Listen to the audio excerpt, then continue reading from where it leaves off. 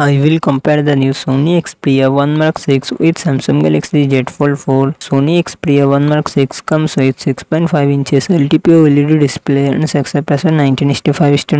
Samsung Galaxy Z Fold 4 7.6 inches foldable dynamic AMOLED display and success 23 one